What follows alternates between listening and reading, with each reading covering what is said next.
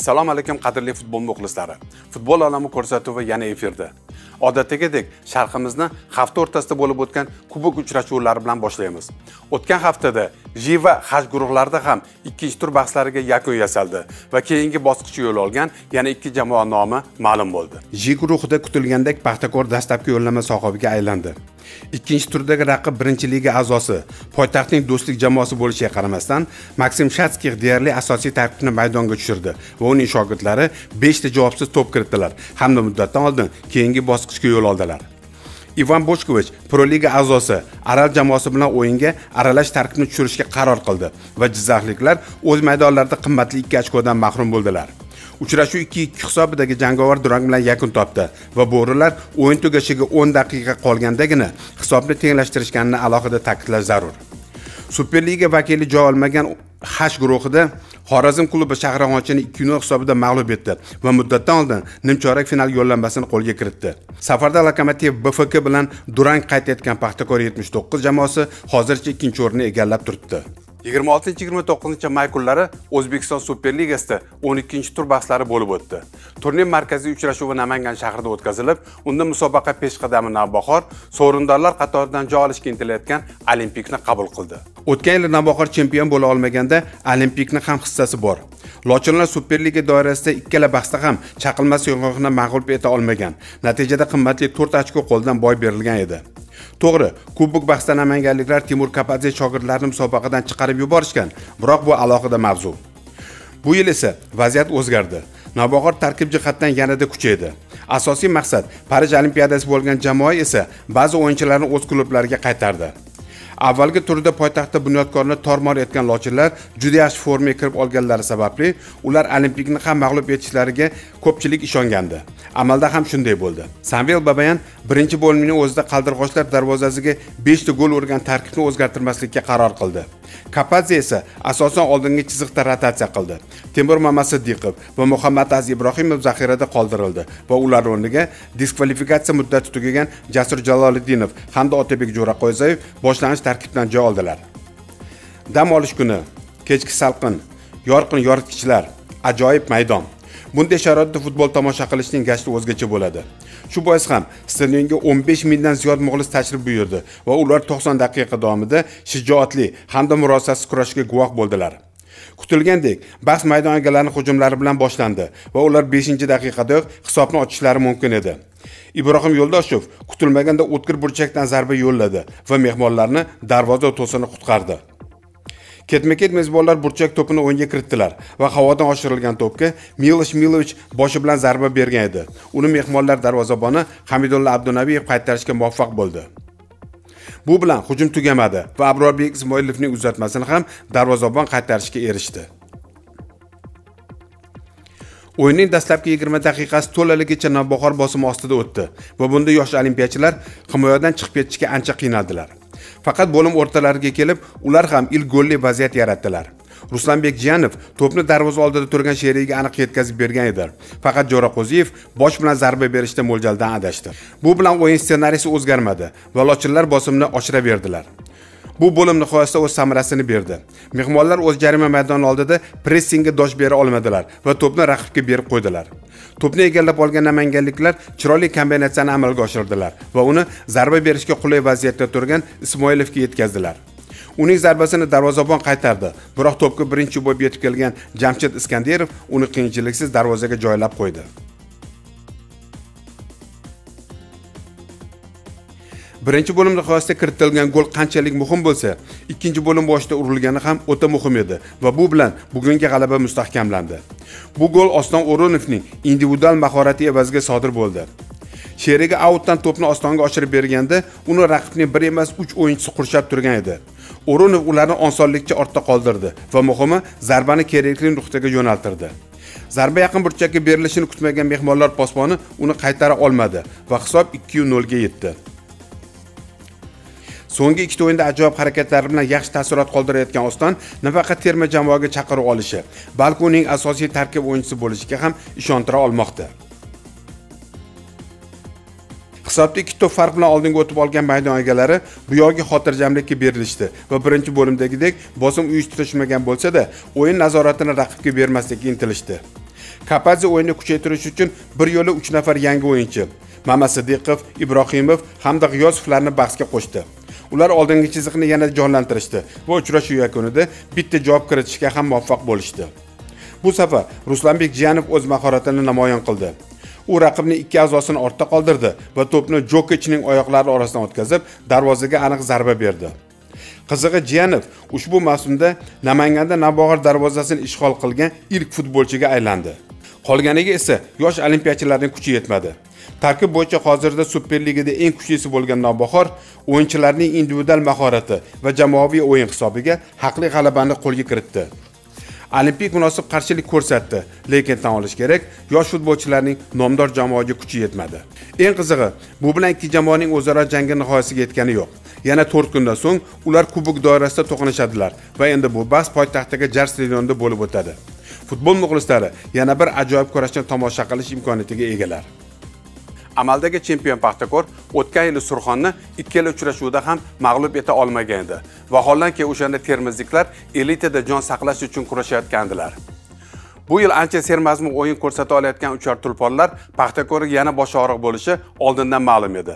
Amalda ham shunday bo'ldi. Maksim shatskixda hozirda eng katta muammo zaxira o'rindig'i. Paxtakorchilardan sakkiz nafari ayni kunlarda yoshlar terma jamoasi safida yurtimiz sharafini himoya qilishmoqda va zaxiradan o'yinni kuchaytiradigan futbolchi yo'qligi bois shatskix ba'zi o'zgarishlarga qo'l urayotgani ham yo'q.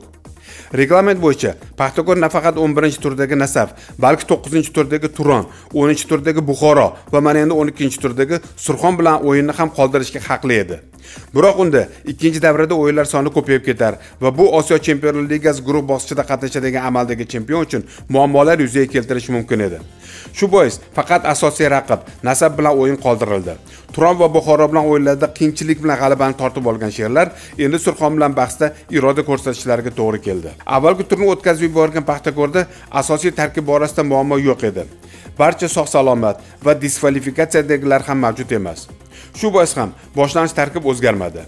Yuqorida aytganimizdek muammo zaxira o'rindig'ida edi. Sherzod azamov va pshimislav banashak jarohati hali bitmagan. Sardor rashidov bilan esa tushunarsiz holat. Ba'zi manbalar u jamoani tark etgani haqida yozmoqda. Shatskix esa uni betob dedi. Surxonda esa kamron saidazimov diskvalifikatsiyada bo'lgani sababli uning o'rnini sunnatulloh hamidjonov egalladi. Ma'lumki bu yil surxon uy uchrashuvlari uchun aynan paxtakor stadionini tanlagan va kecha faqat kiyim almashtirish xonasi o'zgargani inobatga olinmasa termizliklar o'zlarini xuddi o'z uylaridek his etishdi. Ular yuqori pressing orqali maydonning haqiqiy egalarini qiyin ahvolga solib qo'yishdi va sherlar himoyadan hujumga chiqishda ancha qiynalishdi. Yettinchi daqiqada aynan termizliklar hisobni ochishlari mumkin edi. Qanotdan uzatilgan to'pga asalbek jumayev oyog'ini qo'ygan edi. Biroq paxtakorchilarni darvoza ustini qutqardi. Yigirma yettinchi daqiqada himoyachilarning xatosi mezbonlarga qimmatga tushishi mumkin edi. Odiljon hamrabekov to'pni sherigiga oshirishda xatoga yo'l qo'ydi va azbek pirmuhammadovning olisdan yo'llagan zarbasini sanjar quvvatov qiyinchilik bilan qaytardi. Mezbonlarning golga tortadigan ilk xavfli zarbasi 40 daqiqada amalga oshirildi. Uni azbek turg'unboyev yo'llagandi. Biroq surxon posboni artyom patapov jamoasini qutqardi. Shu tariqa birinchi bo'limda hisob ochilmadi. 58 daqiqada shatskiy o'yinni kuchaytirish mumkin bo'lgan yagona zaxiradan foydalandi. Markaziy himoyachi dostonbek tursunovni universal futbolchi dilshod saitovga almashtirdi. Bu bilan sxema ham o'zgardi. Vingerlik vazifalari alijonov va sayfiyevga topshirildi va hamdamov hamda turg'unboyev hujum ortini kuchaytirishdi. Yetmishinchi daqiqada tortishuvli vaziyat yuzaga keldi. To'p uchun kurashda paxtakor himoyachisi shahzod azmiddinov raqib o'yinchisi jumayevni yiqitdi va hodisaga yaqin turgan bosh hakam rahimbek karimov cho'ntagidan qizil kartochka chiqardi.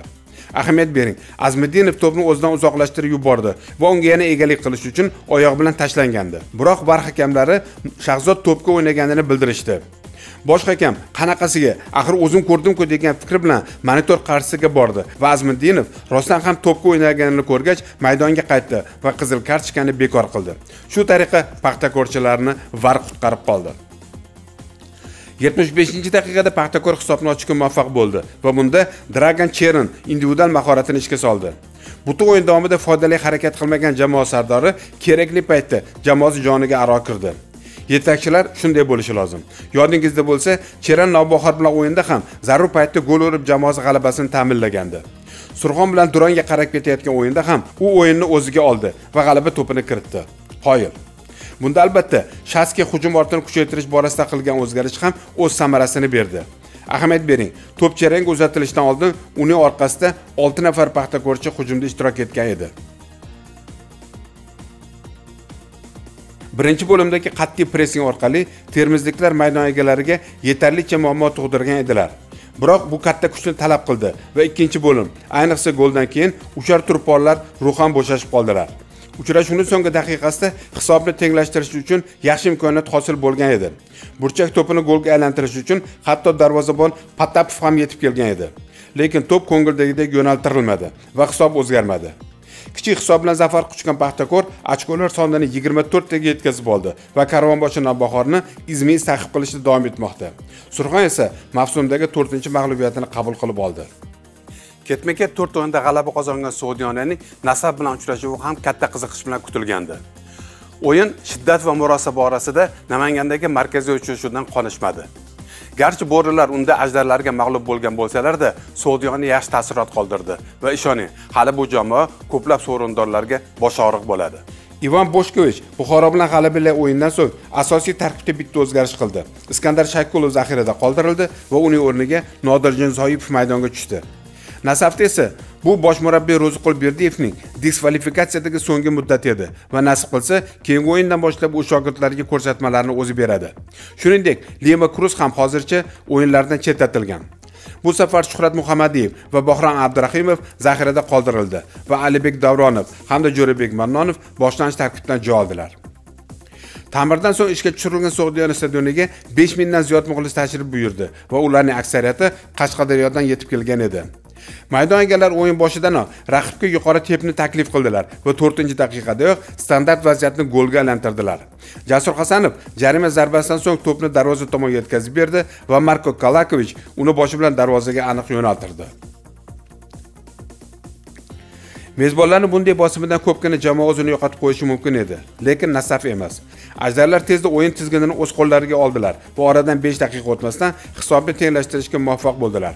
Hujumga qo'shilgan mannonov to'pni jarima maydonchasiga yetkazdi va oybek bozorov boshi bilan zarba berib darvozani ishg'ol qildi. Bu vaziyatda bozorovga zarba berishga hech kim xalaqit bermadi va markaziy himoyachilar qayerda edi degan savol ochiqligicha qoldi. O'yin boshidan beri mehmonlarning o'ng qanoti ancha faol ishlayotgan edi. Biroq 24 daqiqada mannoni jarohat oldi va murabbiylar uni shuhrat muhammadiyevga almashtirishdi. U esa izdosh sifatida faollikni davom ettirdi va navbatdagi golga ham muallif bo'ldi. Muhammadiyevning o'ng qanotdan uzatgan oshirmasiga endi akmal mazgo'yev boshi bilan zarba berdi va mo'ljalda adashmadi. Aniqrog'i to'p avval darvoza ustuniga tegib keyin chiziqni kesib o'tdi. Tanaffusda boshkovich ikkita o'zgarishni amalga oshirdi. Abdumutalov va zaymovich o'rniga shaykulov hamda serderov maydonga tushishdi. Ana serderov bo'lim boshida hisobni tenglashtirishi mumkin edi. U sherik uzatmasini to'xtatmasdan darvozaga yo'lladi va faqatgina abduvohid ne'matovning mahorati mehmonlarni goldan saqlab qoldi. O'z navbatida burchakdan oshirilgan to'pni endi husniddin aliqulov darvozaga yo'llagandi. Bu safar mila mitrovich super sev bilan to'pni qaytarishga muvaffaq bo'ldi. 78 daqiqada serbiyalik posbon yana bir bor jamoasini qutqardi. G'olib g'aybullayev jarima zarbasidan so'ng to'pni to'g'ri darvozaga yo'llagandi. Qiziqarli kechgan bahsda tomonlar ochiq futbol namoyish etishdi va muxlislar murosasiz kurashga guvoh bo'ldilar. Bosh bilan urilgan gollarda nasab muhim 3 ochkoni qo'lga kiritdi va yo'qotilgan ochkolar soni bo'yicha ikkinchi o'ringa ko'tarilib oldi. Sug'diyona esa yuqorida ta'kidlaganimizdek yaxshi taassurot qoldirdi va davralar oralig'idagi muhim transferlar amalga oshsa jamoa bemalol sovrinli o'rinlar uchun kurashadigan salohiyatga ega. Tajribali murabbiy tajmurat agamurodov qizilqumni qiyin vaziyatda qabul qilib oldi. Seleksiya ko'ngildagidek bo'lmagan tartib intizom izdan chiqqan jamoada g'oliblik ruhini singdirish ancha qiyin edi. Shu boisdan bo'lsa kerak agamurodov boshchiligida navoiyliklar dastlabki ikki turda mag'lubiyatga uchradilar va faqat keyingi turdagina ilk marta ochkoni qo'lga kiritdilar. Yana kimdan deng chempionatda hali mag'lubiyatga uchramagan neftchidan. Tartib intizom bo'shligidan hozircha jamoaning bir emas uch nafar o'yinchisi ifyani humoyon abdualimov hamda murodbek rahmatov diskvalifikatsiyada. Shu boisdan ham agomurotov asosiy tarkibni belgilashda muammolarga duch kelmoqda. Bu safar hujumchilar jasur xo'lto'rayev zaxirada qolgan bo'lsa viktor mabauma qaydnomaga kiritilmadi. Ular o'rniga diskvalifikatsiya muddati tugagan azizbek usmonov shuningdek avazxon mamatxo'jiyev va islomjon toshpo'latov boshlanish tarkibga kiritildi. Nefchi murabbiy vitaliy levchenko desa aksincha yaxshi saviyadagi futbolchilar ko'pligidan endi asosiy tarkibga kimni kiritish borasida haqiqiy raqobat boshlangan. Muhsinjon boydullayevni sariq kartochkalar soni to'rttaga yetgani bois u navoiyga kelmadi. Bu safar umar adhamzoda g'ulom haydar g'ulomov fozil musayev va izzatilla abdullayevlar zaxirada qoldirildi. Ular o'rniga anvarjon g'ofurov nurullo to'xtasinov diyorjon turopov abbosjon g'ulomov hamda ulug'bek hoshimov boshlanish tarkibdan joy oldilar. Uchrashuvda hisob 18 daqiqada mehmonlar tomonidan ochildi. Qizilqum a'zosi islomjon toshpo'latov o'z jarima maydoni ichida toma tabadazeni chalib yiqitdi. Va uchrashuv bosh hakami ibrohim ismoilov 11 metrlik nuqtani ko'rsatdi. Uni jabrlanuvchining o'zi aniq amalga oshirdi va mavsumdagi 4 golni nishonladi. Biroq toshpo'latov o'z xatosini super gol bilan yuvdi. 42 daqiqada mehmonlar darvozasi tomon chamasi 25 metrlar masofa uzoqlikdan jarima to'p belgilandi. Islomjon pushka singari zarbasi bilan darvozani yuqori burchagini nishonga oldi va unga na jonli devor na posmon vladimir nazarov xalaqit bera olishmadi. Navoiyda shunday jarima zarbasi ustasi bor ekan biz bilmay yurgan ekanmiz. Ikkinchi bo'lim asosan farg'onaliklar ustunligida o'tdi. Biroq maydon egalari tartibli himoyalanishdi va darvozalar daxlsizligini saqlab qolishdi. Yaqindagina karvonboshi maqomida bo'lgan neftchining duranglari g'alabadan ko'ra ko'payib ketdi va endi jamoa yo'qotilgan ochkolar bo'yicha uchinchi pog'onaga tushib qoldi. Qizilqum esa qatorasiga to'rt mag'lubiyatdan keyin qimmatli bir ochkoga ega bo'ldi va endi agamurodovdan ilk g'alabani ham kutib qolamiz. Poytaxtdagi jar stadionida mehmonlar kiyim almashtirish xonasi matbuot anjumani bilan yonma yon joylashgan. Okmk buxoro bilan o'yindan so'ng mehmonlar murabbiyi ulug'bek bakayev kiyim almashtirish xonasida shogirdlari bilan baland tovushda gaplashdi. So'ngra hamma e'tirozlarni tugatib jurnalistlar qarshisiga chiqib kelganda ichkarida baqir chaqir va mushtlash sadolari eshitildi. Murabbiy yana ortga qaytdi shogirdlarni tinchlantirdi va undan keyingina matbuot anjumaniga kirib keldi. Tayyor g'alabani qo'ldan chiqqan buxoroliklar mag'lubiyatni ana shunday og'irlik qarshi oldilar. Qishki o'quv yig'i mashg'ulotlar davomida o'rtoqlik nazorati o'yinlarida okmk bosh murabbiyi bir necha xil sxemalarni sinab ko'rishiga guvoh bo'lgan edik. Tajribali mutaxassis ular bir kunmas bir kun as qochishini bilgani uchun ham shunday yo'l tutgan edi. Buxoro bilan o'yindan oldin olmaliqliklar tarkibida ikkita jiddiy yo'qotish bor edi. Dilshod ahmadaliyev diskvalifikatsiyada bo'lsa shohrux gadoyev mashg'ulotlarda jarohat olgan edi. Qosimov ular o'rniga shunchaki o'sha pozitsiyadagi boshqa o'yinchini tushirish bilan cheklanmadi balki tushiriladigan o'yinchilarga qarab sxemani ham o'zgartirdi. Shu boisdan ham u tanlagan uch ikki to'rt bir ko'pchilik uchun kutilmagan bo'lishi mumkin lekin yuqorida aytganimizdek qishki yig'inlarda bu sxema ham sinab ko'rilgan edi. Unga ko'ra himoya uchligi sardor rahmonov anzur ismoilov vitaliy denisovdan iborat bo'ldi va raqib hujumi paytida ularga abdulla abdullayev yordam berdi. Shu boisdan ham ahmadaliyev o'rniga to'rtinchi himoya tushirilmadi. Aksincha ikki nafar legioner hujumchi odatda bir birini almashtiradigan ruben sanchez va martin boake bir vaqtda maydonga harakat qilishdi. Gadoyevning o'rniga ham yana bir legioner irakli ruhadze tushirildi. Ulug'bek bakayev esa transfer oynasini ham kutmasdan jamoada tozalash ishlarini boshladi. Avvalroq tojikistonlik darvozabon nikola stoshich o'rinbosarlar tarkibiga o'tkazib yuborilgani haqida aytib o'tgan edik. Ma'lum bo'lishicha avvalgi turda sug'diyoniga mag'lubiyatga uchralgach yana to'rt futbolchiga javob berilgan. Bular jasur azimov ixtiyor toshpo'latov temur ismoilov hamda jasur hasanov. Okonko bilan o'yinda vsevolod nixayev ham zaxirada qoldirildi va uning o'rniga javohir ro'ziy boshlanish tarkibga kiritildi. Maydon egalarining uch himoyachi bilan o'ynashi buxoroliklar uchun kutilmagan hol bo'ldi. Va dastlab ular 5-4-1 sxemasida harakatlangan bo'lsalar tez orada 3-4-3 ga moslashdilar va birinchi bo'lib gol kiritishga muvaffaq bo'ldilar. Aleksandr stanislavovich tovoni bilan to'pni adashiga chiroyli yetkazib berdi. O'z navbatida kasyan humoya mirzo imenovni to'p bilan ta'minladi. U esa raqibini osonlikcha aldab o'tib to'pni o'ziga moslashtirib oldi va darvoza tomon zarba berdi. To'p sanjar tursunovga tegib yo'nalishini o'zgartirgani uchun olmaliqlik posboni botirali ergashevni chalg'itdi va darvoza to'ridan joy oldi. Shu tariqa mehmonlar uchrashuvning 11 daqiqasida hisobni ochdilar. Bakayev ko'rsatmasini bajarmagan o'yinchini shu zahoti almashtirishni mehmonlarni keyingi hujumi ko'rsatdi. Ular qarshi hujumda yaxshi imkoniyatga ega bo'lgandilar. Biroq ro'ziyev sherigini qulay vaziyatda to'p bilan ta'minlay olmagani uchun murabbiy darhol zaxiradagi nihayevni chaqirdi va uni ro'ziyevga almashtirdi. Shunday temir intizom o'rnatilishiga qaramasdan mehmonlar baribir o'zlarining qo'pol xatolari tufayli gol o'tkazib yubordilar. Mezbonlarni pressingi natijasida abbosjon otaxonov to'pni o'z darvozaboniga uzatishga majbur bo'ldi. Faqat buni darvozabon uchun noqulay tarzda amalga oshirdi.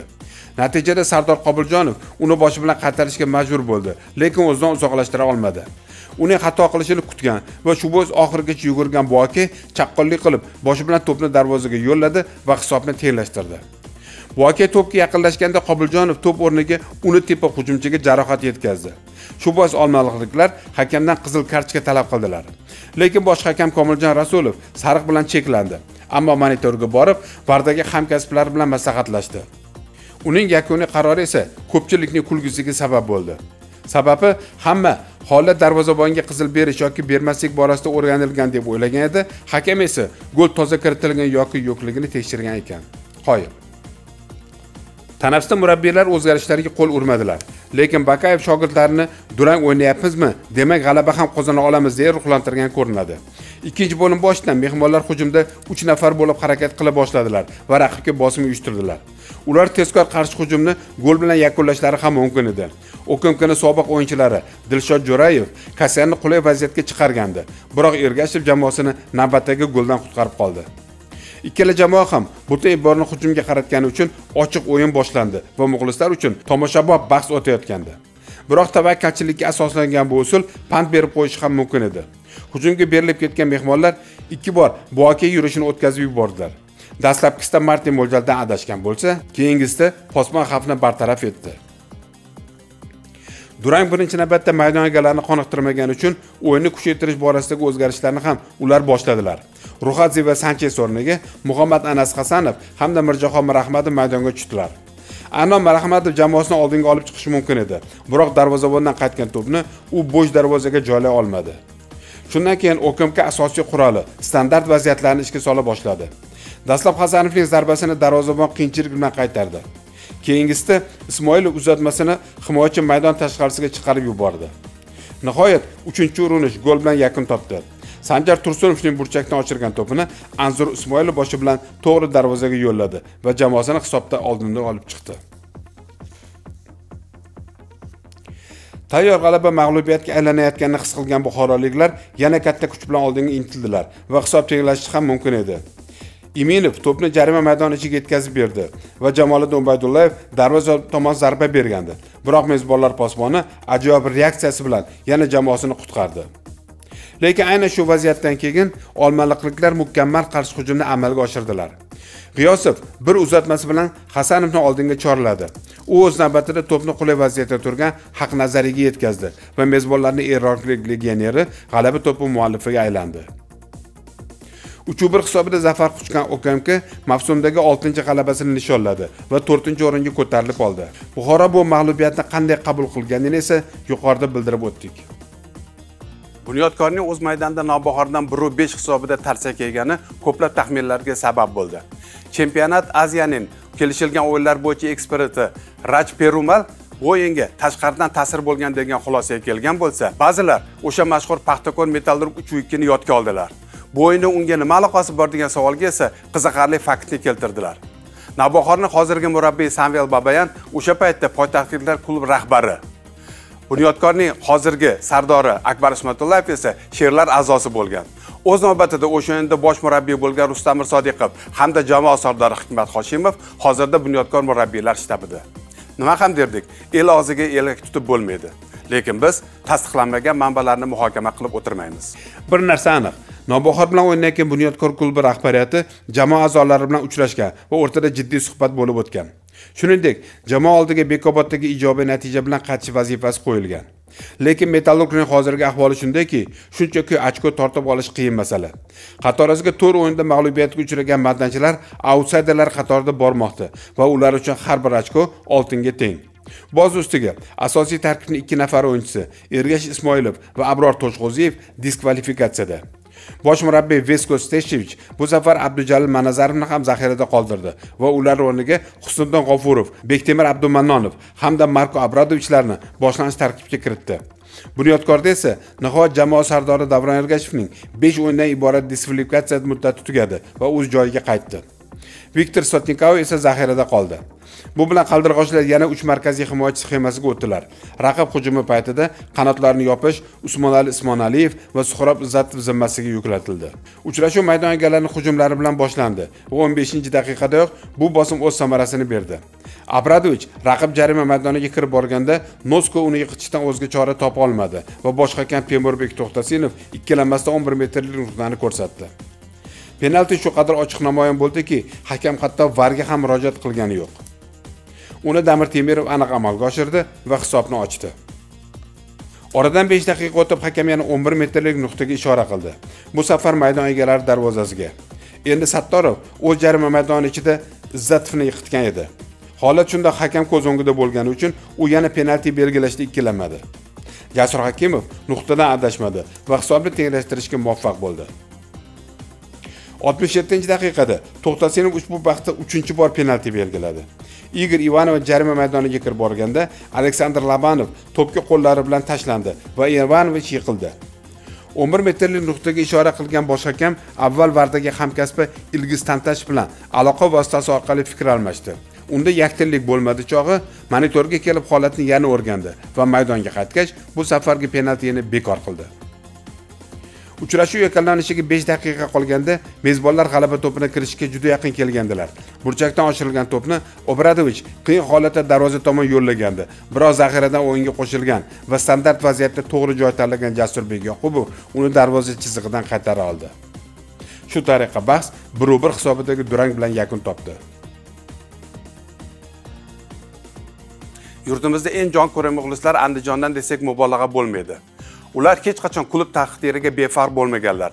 Yaxshi yomon kunlarda jamoa yonida bo'lganlar. Turon bilan uchrashuvdan oldin bobur arena stadionida muxlislar va klub rahbarlari ishtirokida uchrashuv bo'lib o'tdi. Dolzarb masalalar muhokama qilindi. So'ngra jamoa a'zolarini ulfatlar uch choyxonasiga kechki ziyofatga taklif qilishdi. Ertasiga andijon turonni ikki bir hisobida mag'lub etdi. Bizningcha choyxona an'anasini muntazam yo'lga qo'yish kerak. To'g'ri andijon avvalgi turda ham qizilqum ustidan zafar quchgandi.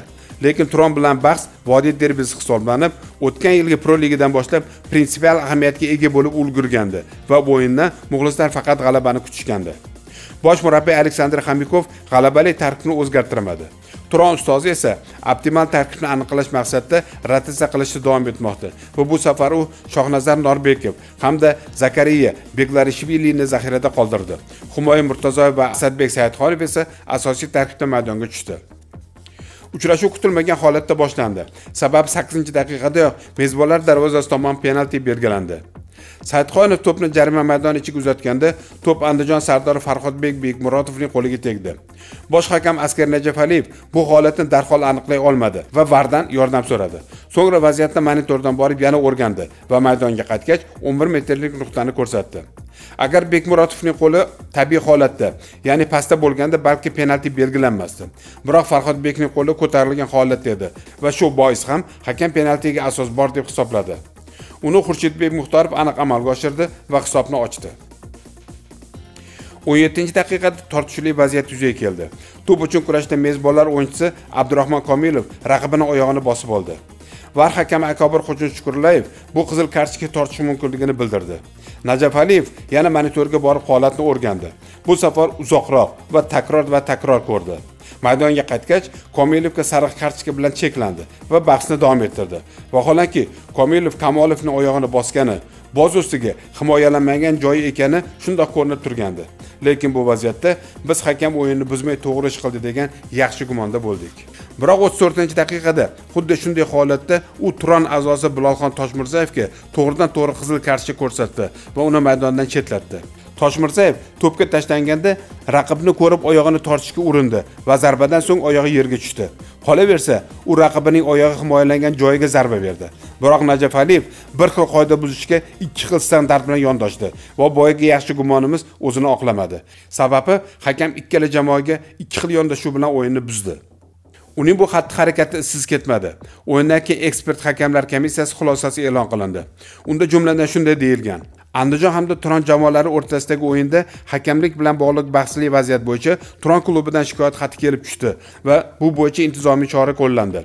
Uchrashuvning o'n yettinchi daqiqasida bosh hakam askar najafaliyev andijonliklar a'zosi abdurahmon komilov fol amalga oshirgani uchun unga sariq kartochka ko'rsatdi. Shuningdek o'ttiz to'rtinchi daqiqada turon futbolchisi bilolxon toshmirzayev raqibga nisbatan qo'pollik ishlatgan va referi to'g'ridan to'g'ri qizil kartochka bilan uni maydondan chetlatgan. Ushbu vaziyatlar ekspert hakamlar komissiyasida batafsil ko'rib chiqildi va ikkala holatda ham xato qaror chiqarilgan degan xulosaga kelindi. Birinchi vaziyatda bosh hakam uzoq vaqt var yordamidan foydalanilganiga qaramay qizil kartochka emas sariq kartochka bilan kifoyalandi. Ikkinchi vaziyatda esa kutilmaganda qizil kartochka ko'rsatildi va tabiiyki bu ham noto'g'ri qaror ekanligi aytildi. Natijada najafaliyev o'yin uchun belgilangan maoshning ellik foizi miqdorida jarima superliganing to'rtta bahsidan chetlatish hamda quyi ligaga tushirish jazosi qo'llanildi. Nima ham deymiz hakamlar markaziy tezkorlik bilan munosabat bildirganini faqat olqishlash mumkin. Afsuski turonning oltinga teng ochkolarini hech kim qaytarib bera olmaydi.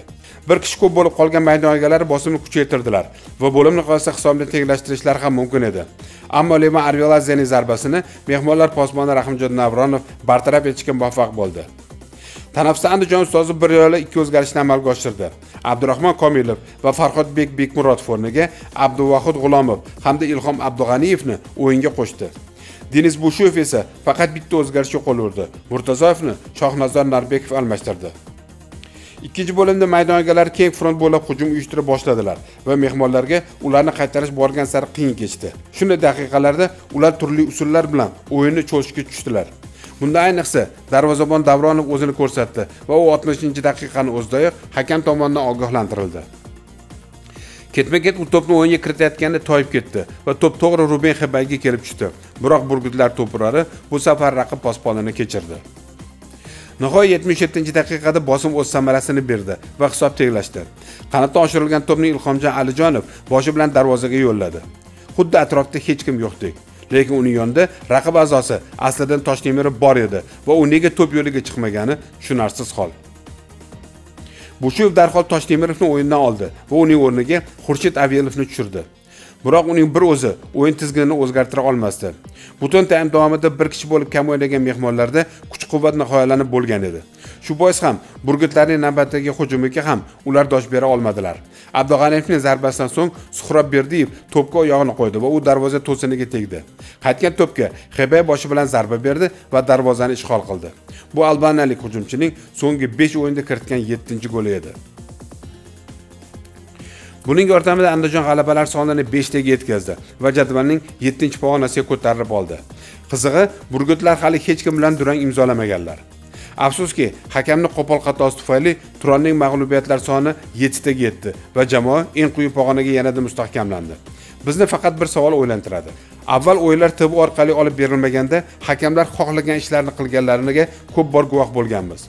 Hozir esa har bir o'yinda ko'chma televizion stansiyalar var tizimi ishlaydi. Shunga qaramasdan hakamlar bila turib qo'pol xatolarga yo'l qo'yishlarini sira tushunolmaymiz. Yoki jazoni yengilligi ularga qo'l kelarmikan superliga qizigandan qizimoqda. Har turdan so'ng musobaqa jadvalida sezilarli o'zgarishlar bo'lmoqda.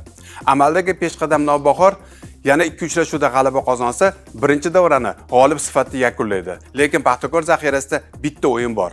Musobaqa jadvali hamda to'purarlar poygasiga e'tibor qaratamiz. Paxtakorning asab bilan qoldirilgan o'yinda navbahorga qo'l keldi va namanganliklar 25 ochko bilan yakka peshqadamga aylandilar. Eng ko'p gol urgan va eng kam o'tkazib yuborgan ko'rsatkichlar ham lochinlarga tegishli. Paxtakor bir ochko kam to'mlagan holda ikkinchi pog'onani egallab turibdi. Lekin eslatib o'tamiz amaldagi chempionda nasab bilan qoldirilgan o'yin bor. Pfl ma'lumotiga ko'ra ushbu qoldirilgan bahs 15 avgust kuni o'tkaziladi va yuqorida aytganimizdek navbahor qolgan ikki uchrashuvda ham g'alaba qozonsa birinchi davra g'olibiga aylanadi. Avvalgi turdan so'ng musobaqa jadvaliga ikkiga bo'lingan bo'lsa 12 turdan so'ng endi u uch guruhga ajraldi.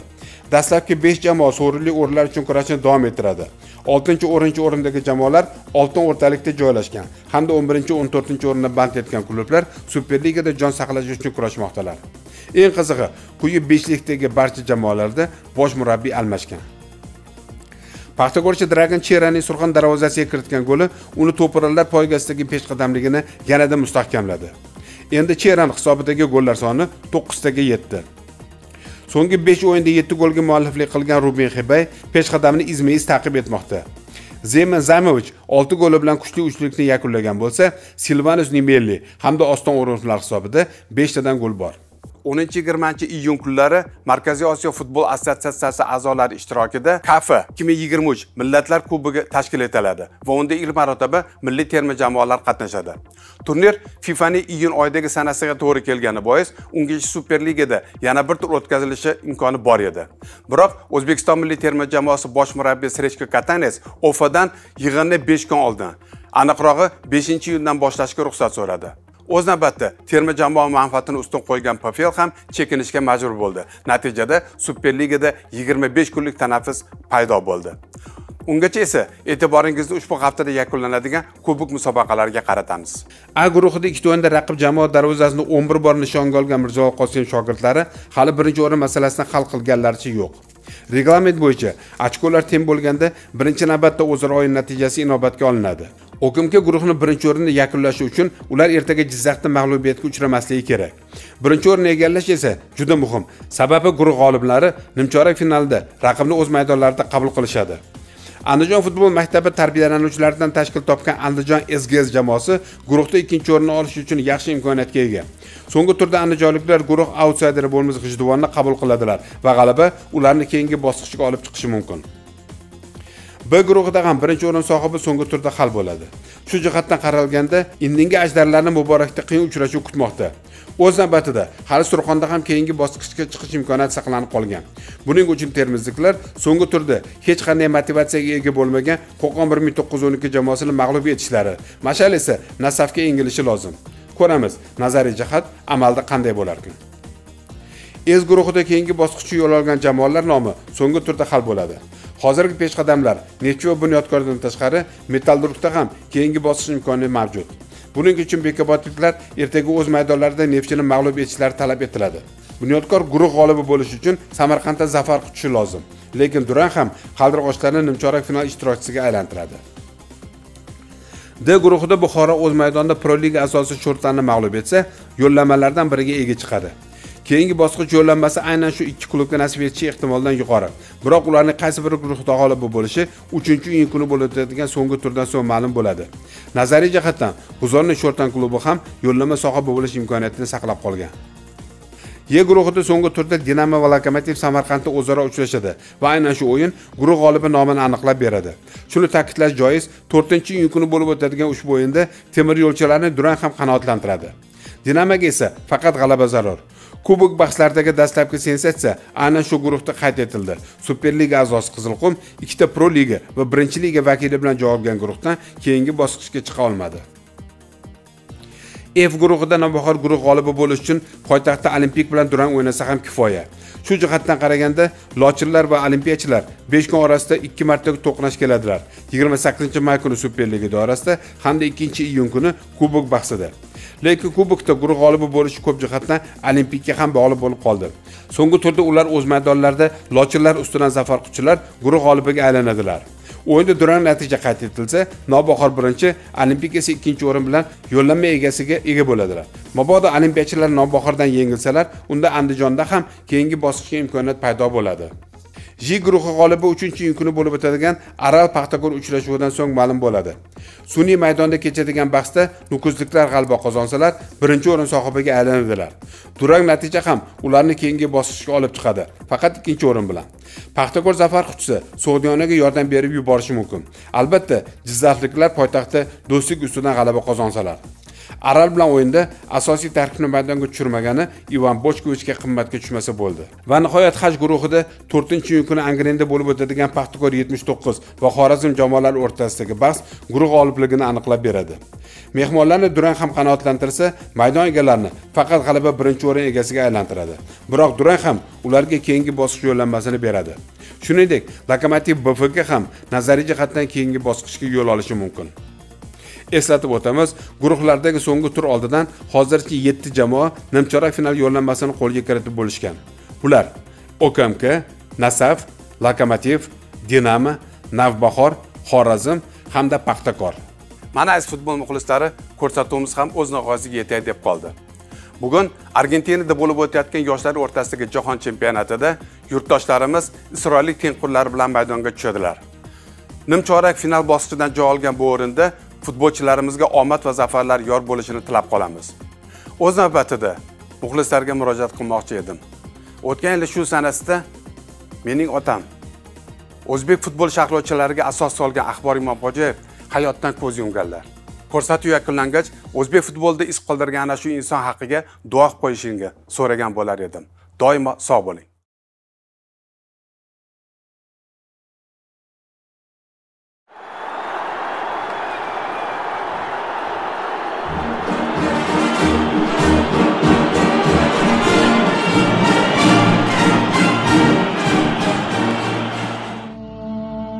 Stadion. Chayqalar bug'doydek. Jaranglaydi bir sobit ovoz. Guvillagan olomon bir zum. Quloq tutdi jarangga bexos. Bu safar demak an to'p tepishga tayyorgarlik ko'ryapti. To'pni bananlatib jarimadan tomon oshirib berdi. Bu daqiqada esa fyodorov hammadan baland sakrab to'pni xadzipanakskiga yetkazib berdi. Vasilis o'z yo'lida zuyevni konkovni aldab o'tyapti. Darvozabon bilan yakka chiqadi. Samokin ham ortda qoldi va to'p kiyev dinamochilarining darvozasida paxtakor bir nol hisobida oldinga chiqib oldi. Axbor rustamovich imomxo'jayev bir ming to'qqiz yuz o'ttiz oltinchi yil o'n to'qqizinchi fevral kuni toshkent shahrida tug'ilgan. Poytaxtimizdagi qirq beshinchi o'rta maktabda tahsil olgan. Keyinchalik toshkent viloyatidagi pedagogika bilim yurti o'zbekiston davlat jismoniy tarbiya institutida imtiyozli diplom bilan tugatgan. O'zbekistonda futbol sharhlovchiligi maktabining asoschilaridan biri. Futbol faxriysi butun umri davomida ommaviy sport targ'iboti bilan mashg'ul bo'lgan. Futbol sohasida ko'plab kitoblar muallifi. Faoliyati davomida futbol uchrashuvlarida hakamlik qilib respublika toifasidagi hakam darajasigacha yetib borgan. o'n yil davomida o'zbekistonning eng yaxshi hakamlari qatorida bo'lgan. Paxtakor futbol klubida jamoa boshlig'i lavozimida ham ishlagan. O'zbekiston televideniyasi sport tahririyatida sharhlovchilikdan to bosh muharrir lavozimlarigacha bo'lgan yo'lni bosib o'tgan.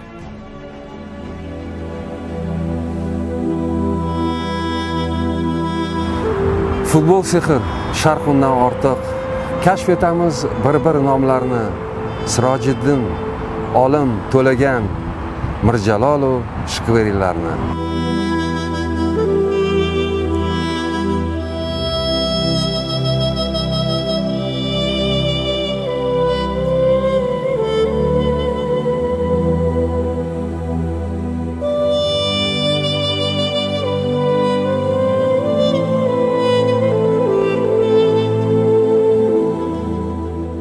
olganda kaminani hayotini futbolsiz tasavvur qilish qiyin.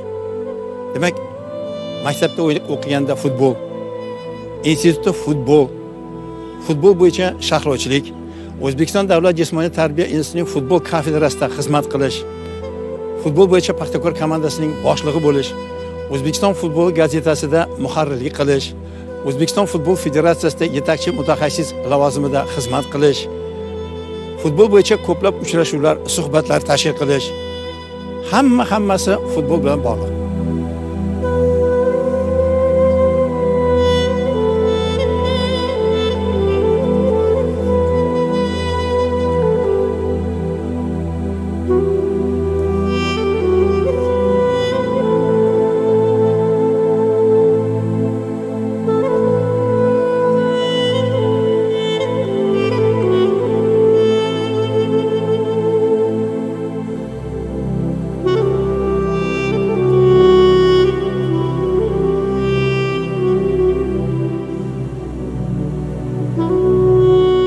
To'p uchadi ikki tomonga.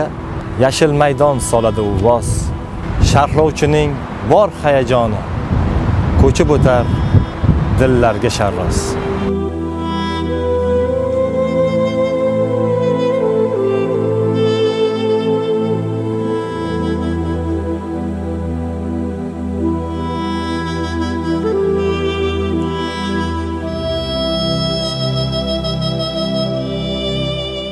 futbol bo'lib keldi dunyoga futbol uning dardini aritdi. Shu sportga mehrini qo'ygan necha avlodlarni qaritdi.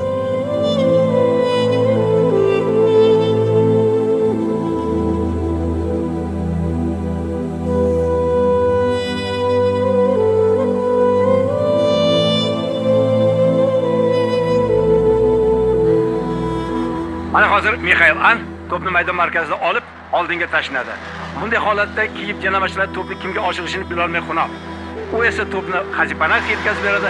Hajipanaka suyevni aldab o'tib darvozaga yaqinlashib keladi. To'pni fyodorovga yetkazib beradi. Lekin afsuski bu safar to'p darvoza to'riga aniq yetib bormadi. Ham futbolchi ham odil hakam. Yozuvchi-yu yetuk murabbiy. Bir yigitga yana ne kerak? Parvoz qildi uchuvchi kabi.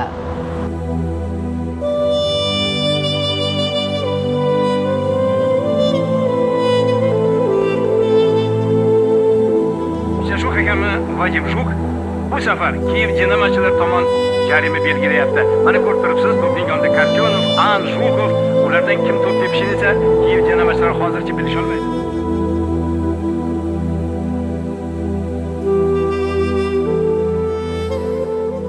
G'ururi paxtakor qalbi esa tong. Maftuni futbolning asr futboli bir asar filmlardan ham ortiq o'zbegimning mirjaloli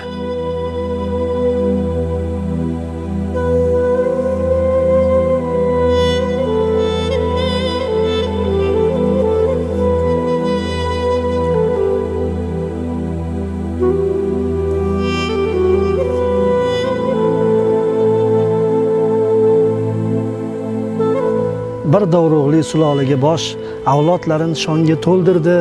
Abror zafar diyor shahriyor kabi izdoshlarini qoldirdi.